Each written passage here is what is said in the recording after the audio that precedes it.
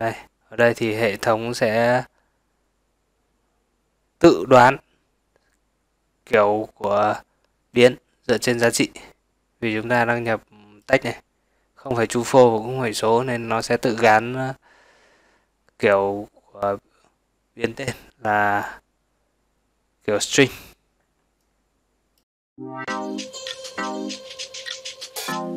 Angular trước khi đi vào bài mới thì chúng ta sẽ cùng uh, sửa bài tập ở lần trước.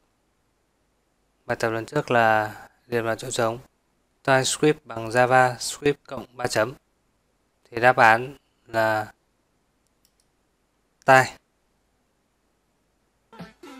JavaScript cộng tai sẽ bằng TypeScript câu uh, hỏi khá đơn giản phải không các bạn? Xin chúc mừng các bạn đã đưa ra câu trả lời chính xác.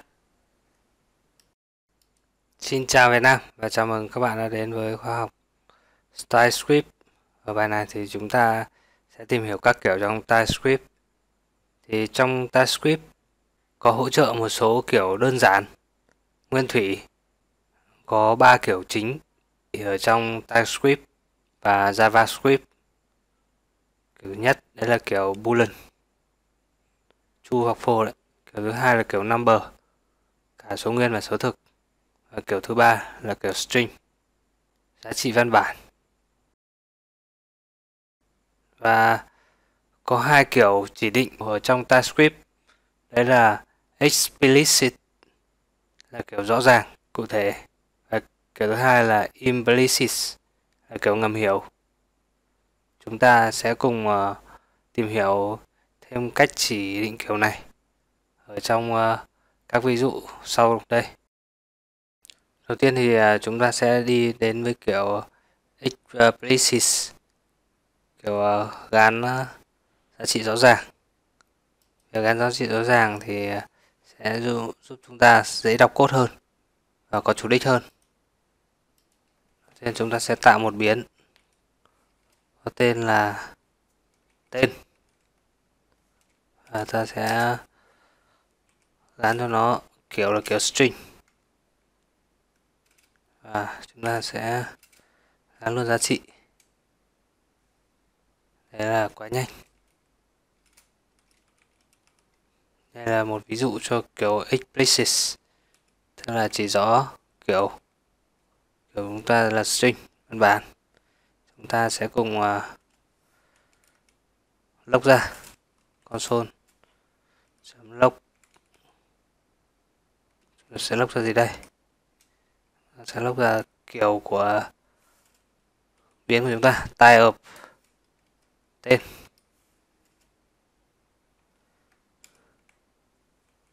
Ok.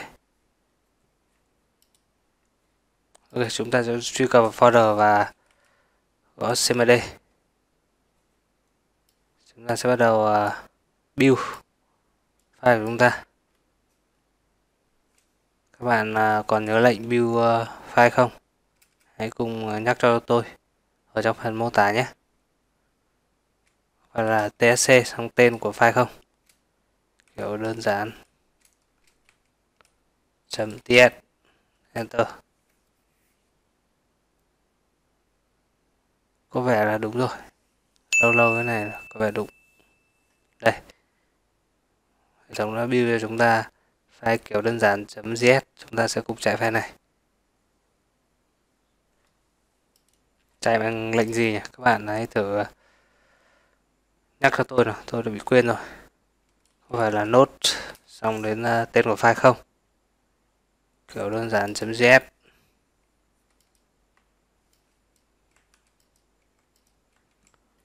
enter. Đúng rồi, chạy là đúng rồi. Và hệ thống đã in ra chúng ta kiểu của cái tên của chúng ta là string. Chúng ta đã chỉ định rõ ở đây string rồi. Và chúng ta sẽ đến với uh, kiểu thứ hai.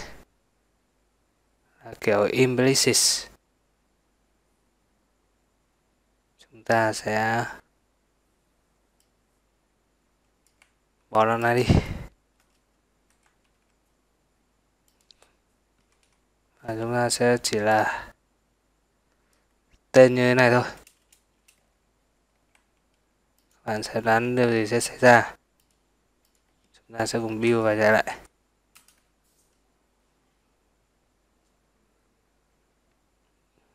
Tôi đoán thì uh, hệ thống sẽ lốc ra là không không biết kiểu là gì.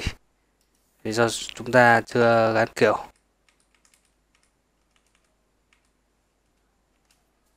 Đây undefined là chưa được gắn uh, ờ, kiểu giả sử như chúng ta không gắn kiểu mà chúng ta gắn luôn giá trị như thế này thì kết quả sẽ là gì? Chúng ta sẽ cùng chạy lại. Build và chạy file của chúng ta.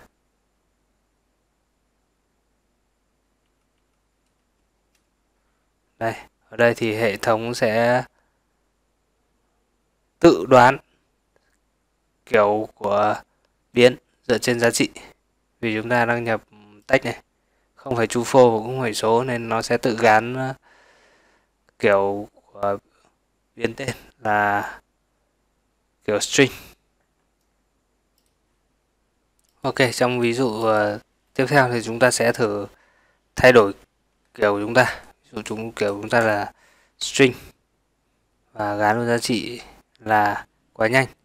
Sau đấy chúng ta sẽ gán một uh, kiểu khác cho giá trị này cho biến này. Chúng ta sẽ set tên bằng uh, ví dụ chúng ta là tuổi đi tuổi 16 đi. Ok. Hay các bạn có thể thấy là hệ thống báo lỗi luôn không còn chạy. Là báo luôn chúng ta không thể gán kiểu number cho một biến mà chúng ta đã gán kiểu là kiểu string. Chúng ta sẽ thử in ra giá trị của biến, không phải kiểu của biến nữa. Xem hệ thống sẽ báo gì. Chúng ta chưa cần build là mà hệ thống đã báo lỗi cho chúng ta rồi. Rất tiện ích, phải không các bạn? Nếu các bạn sử dụng đây chúng ta lúc view là nó đã báo lỗi luôn rồi. Type number is not assignable to type string. Và in ra chúng ta giá trị là 16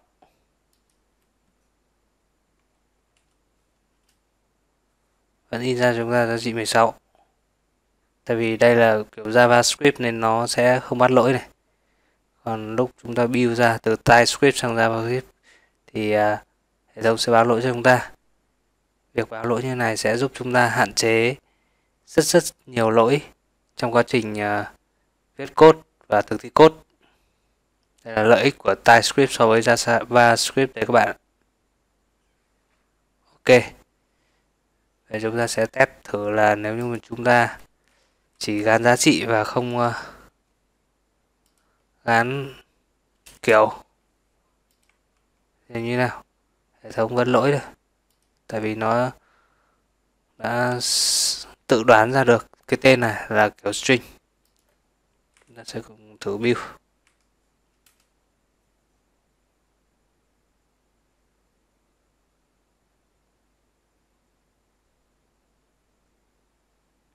Đây, vẫn là lỗi như trước thôi.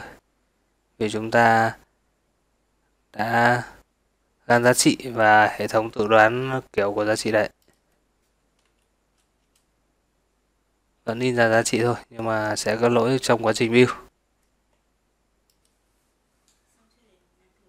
đối với trường hợp ờ, uh, boolean các bạn muốn gắn boolean thì các bạn hãy viết true false uh, không ở trong dấu ngoặc kép nhé. Vậy thì các bạn sẽ sử dụng được biến boolean ví dụ như tôi đặc biến là là tên bằng chu. Sẽ lóc ra kiểu của là tên.